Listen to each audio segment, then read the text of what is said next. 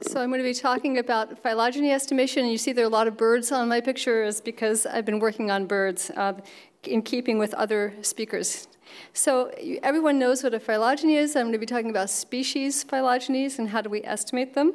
And I'm going to be talking specifically about doing this in a genome scale context. There's multiple reasons you need to look at genome scale data, but one of them is that individual parts of the genome actually have different histories. And therefore, if you look at only a single gene or even just a small number of, of genes, you may get very strange uh, responses. So the reason for this gene tree discordance, there are multiple reasons. The, the dominant one potentially is something called incomplete lineage sorting, and actually Molly already talked about that, but it's something that happens when you have either very large population sizes or you have very uh, short times between speciation events. So incomplete lineage sorting is one of the things that causes gene trees to be different from each other and different from the species tree, and that's the problem I'll be talking about today. So this is a mathematical model called the multi-species coalescent. And it, there's a forward model and a backwards model, but they're equivalent. The main thing to understand from this is that the multi-species coalescent, the dots here represent individuals, and so you have population sizes and times between events. Um, it increases the probability of having trees, gene trees, that are different from the species tree. Now, when I say a gene tree, I'm talking about the tree on a specific region of the genome. It doesn't have to be a gene. It could be intronic data. It doesn't have to be a gene. But gene trees can be different from the species tree, and the gene trees evolve within the species tree. This particular picture is showing a gene tree that is different from the species tree in that uh, you do not see, you see uh, gorilla and orangutan as siblings in the gene tree and they shouldn't be. So incomplete lineage sorting, it's a, it's a it's the outcome of the multi-species coalescent process that can produce gene trees that are different from the species tree, and it's known to confound many different gr biological groups. And the interesting thing here is that there's a big debate in the literature about how to analyze your data when you have this gene tree heterogeneity. The, the debate is centered um, on the one hand about the theoretical guarantees, and on the other hand, empirical performance. So that's the thing that I'm going to be talking about. So today I'm going to talk to you a little bit about this model, the multi-species coalescent model, and then what it means to have a statistically consistent method for estimating species trees under this model, and a new method called Astral that we've developed to be able to do this on very large data sets, and then some open questions. Okay, so again, we want to look at estimating species trees from multiple genes. And the two major competing approaches, one ignores the heterogeneity and simply takes the sequence alignments from the different loci and concatenates them together and then analyzes this large concatenated alignment however you want to. So you could do maximum likelihood, you could do maximum parsimony, you could do a Bayesian method, whatever you like. So that's called concatenation. The other basic approach is to estimate trees on each of the different loci. Again, these loci do not need to be genes, but you estimate trees on the different loci, and then you combine the gene trees together. Um, there are other approaches as well. These are the two dominant ones because of speed. So what does statistical consistency mean? In the context of you know, a usual just estimator, you want the error in the estimation to go to zero as the amount of data goes to infinity. The error does not need to go a, uh, to zero monotonically, it just needs to go to zero. Uh, in the context of species tree estimation, what you're looking for is genomic data going to infinity. So the number of loci that you're sampling should go to infinity, right?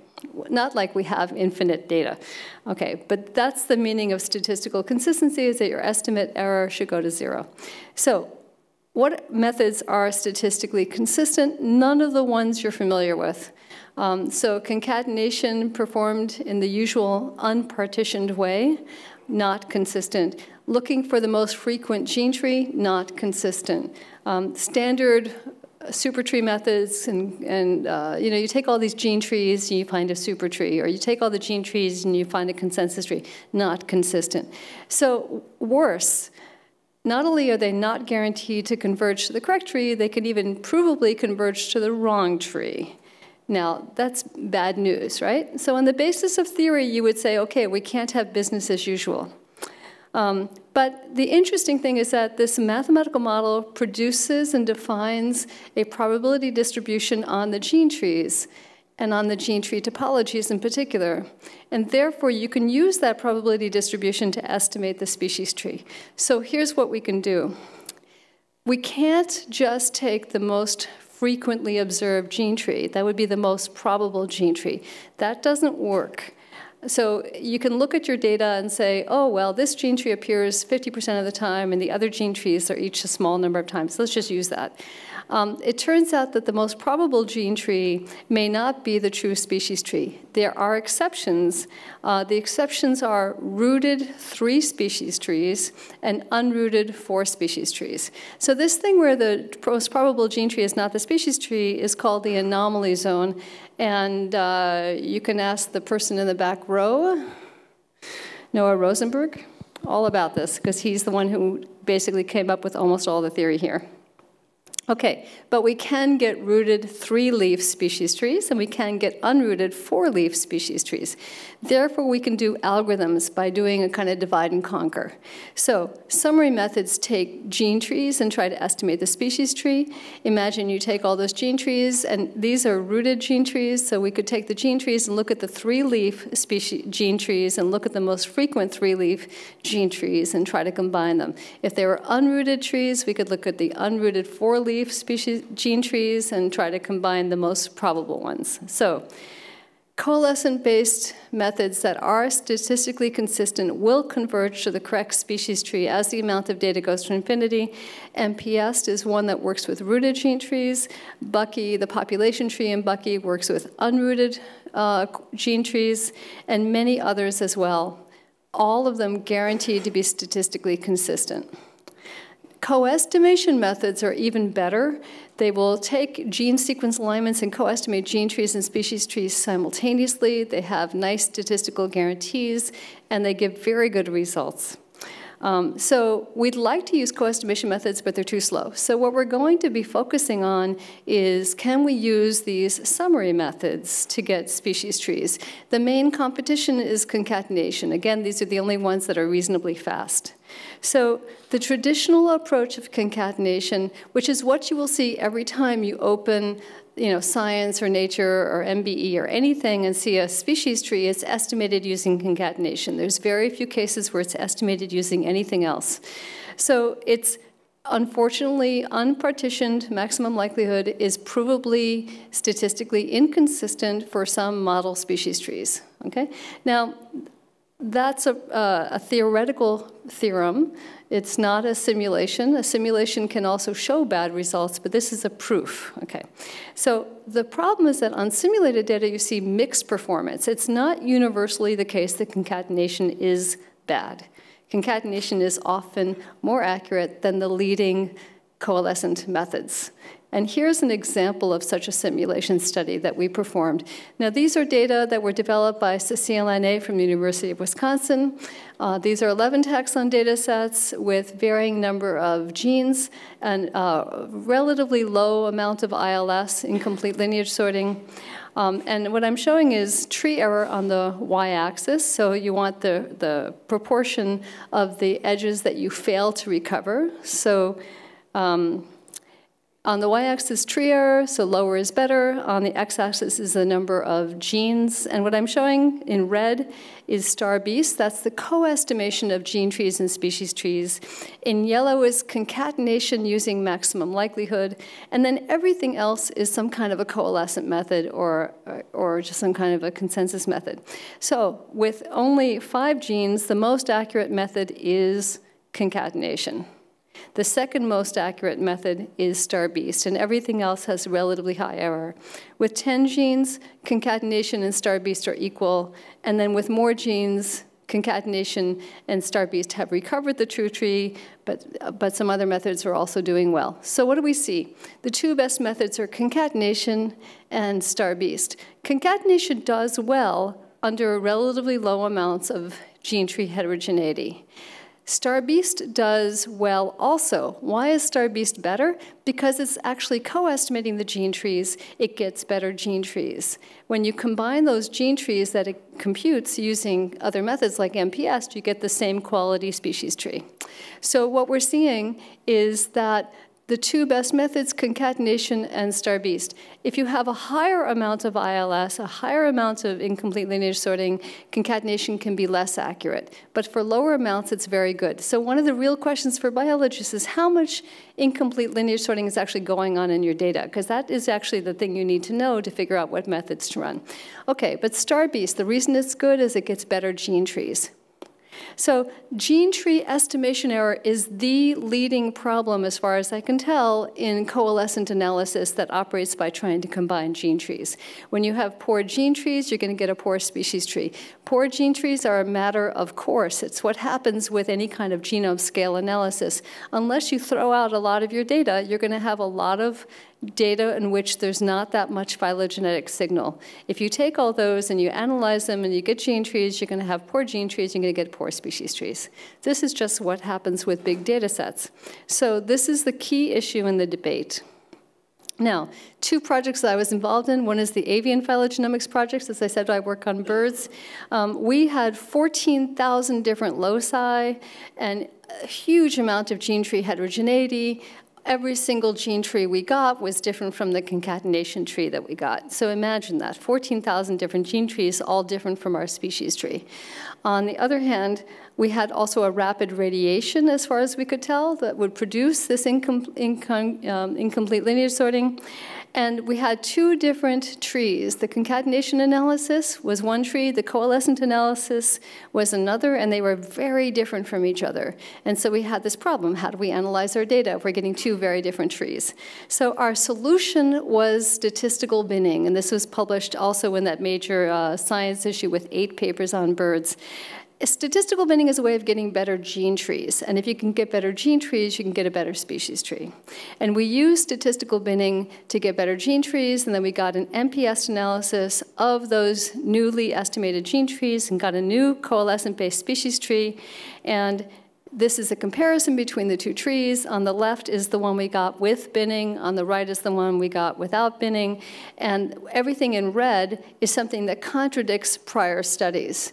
So with binning, we got something that looked like our concatenation analysis. Without binning, we got something that contradicted it, which tells us something about the impact of gene tree estimation. Okay, the plant project was a different analysis. It actually was done um, after the bird analysis, published before but done after.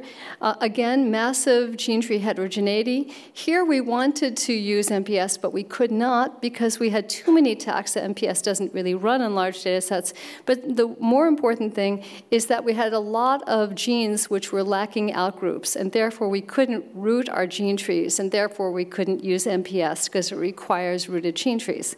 Solution, we developed a new method called Astral. Astral works with unrooted gene trees. It's polynomial time and it's statistically consistent.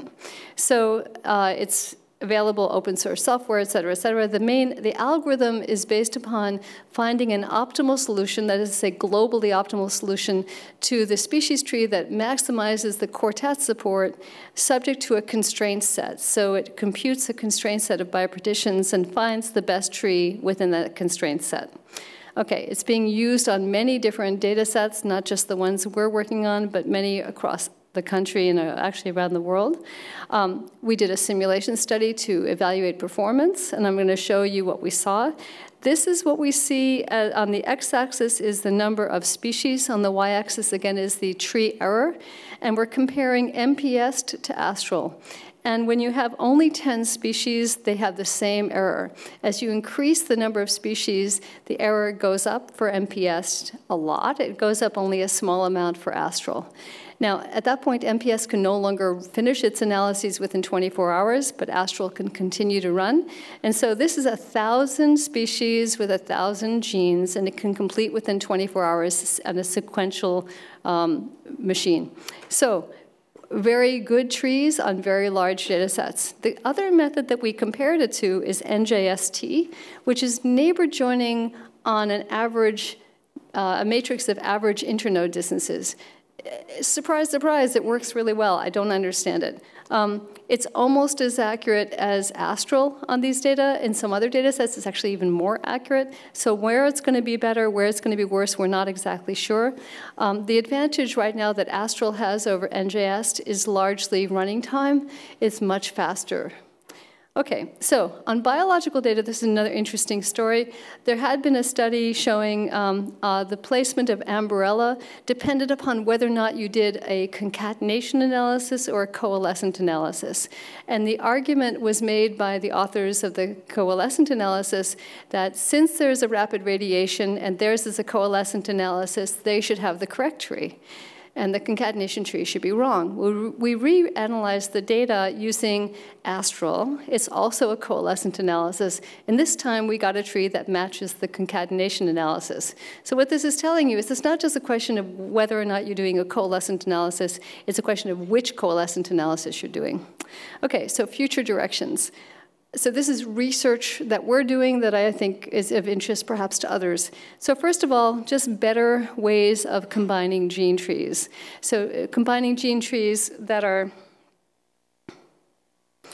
more robust to gene tree estimation error. Secondly, better ways of estimating gene trees in the context of a multi-locus analysis. So when you have multiple genes and they're all evolving down the same species tree, you can use the fact that they're all evolving down the same tree to get better gene trees. That's exactly what StarBeast does.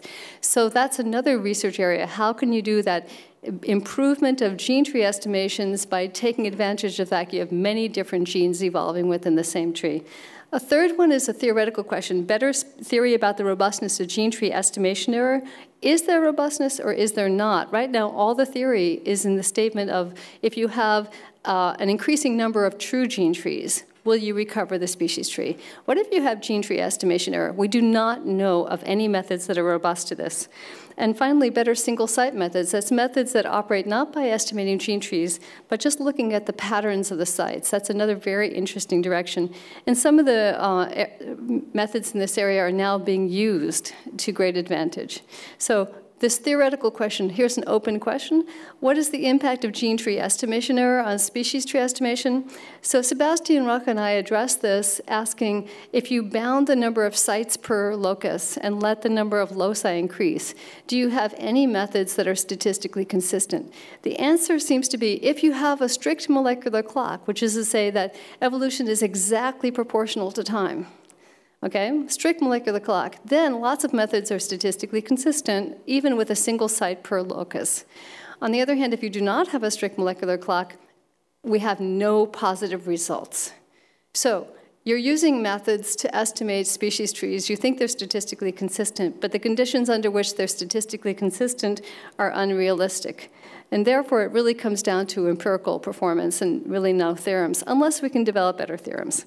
Okay, with that, the acknowledgments. There's a lot of papers on this topic. You can get them off my website. But I want to thank very much the people who worked on this. So my student, Siavash Mirarab, on the left, he's now a professor at UCSD. Uh, Bayzid, who's second from the left, he's still working on this stuff. Uh, Bastien Boussau, who's in France, has done some wonderful work also on gene duplication and loss and how you deal with species tree estimation there. And of course, Sébastien Roch. Thank you.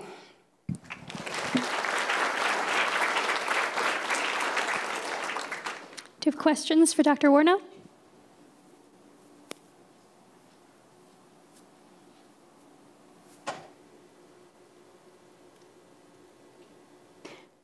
Give it to Noah.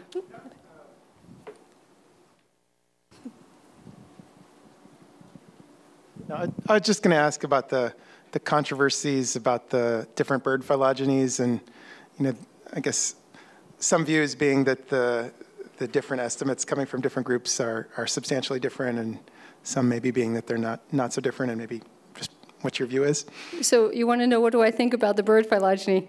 Um, well, I personally think that since there is for sure uh, rapid radiation, I don't think that's a question. There's going to be incomplete lineage sorting, but there's also going to be other sources of discord that we have yet to be able to figure out how much they're impacting the phylogeny. Hybridization could be happening.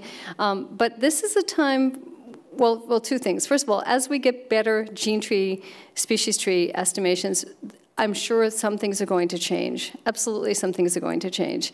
What, whether or not these are the ones that people are fighting over, I don't know. Um, but this is a time of rapid method development, and so I think we should look again in like two or three years and see. But one of the things that people have been asking is maybe you should be doing denser taxon sampling. So with denser taxon sampling, you're going to break up the long branches and maybe things will change there. On the other hand, with denser taxon sampling, you're going to get even shorter branches and so you're going to have even more gene tree heterogeneity. So I don't know that taxon sampling is going to address this issue. But method development could address the issue, and, and that's where I'm looking. Any other questions?